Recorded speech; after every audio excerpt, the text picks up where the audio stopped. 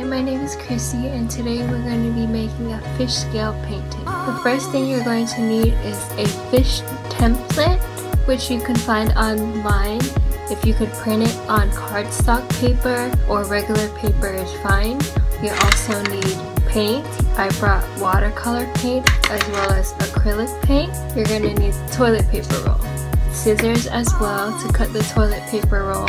So the first step you're going to do is you're going to cut up the toilet paper roll vertically first and then you are going to cut the toilet paper roll in half horizontally as well. So you have pieces of the toilet paper.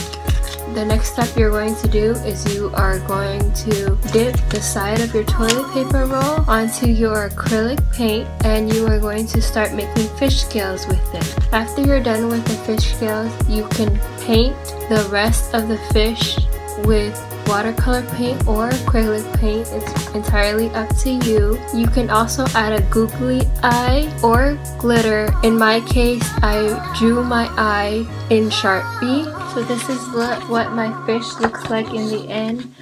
I hope you guys have fun doing this project and have a great rest of your day. Bye!